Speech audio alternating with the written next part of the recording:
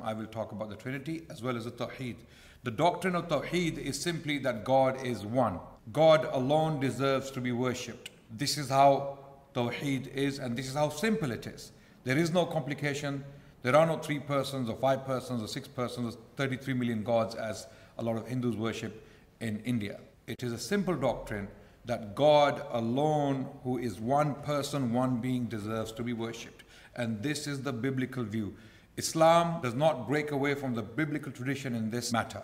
Rather, Islam confirms the biblical version of Tawheed because Bible also has Tawheed as we will see in due course.